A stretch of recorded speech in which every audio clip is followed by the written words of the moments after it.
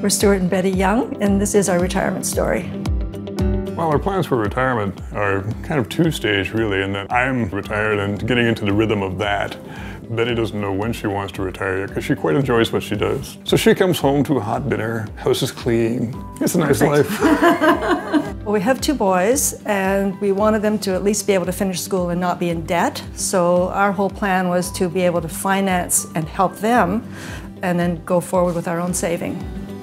Our objective when we started this was to have enough money to not worry about whether we had enough money or not.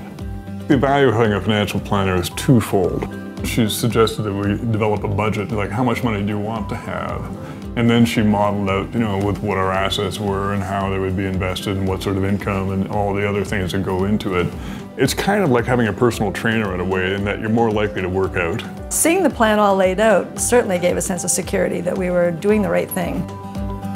Our eldest son and his partner bought a condo and uh, we were able to help out.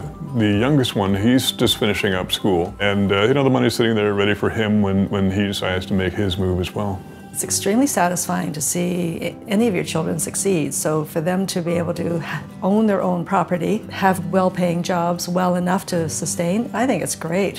What more can you ask for? You just want them to have a, a good life. There's any ways, number of ways to feel rich, but to have enough and to do be, what you want to be able to do, to me, that's, that's wealth. We've got enough set aside that we think that they're well enough on their way. So my working is strictly because I want to stay working because I'm enjoying it. I think she's working because she doesn't want to stay at home with me just yet.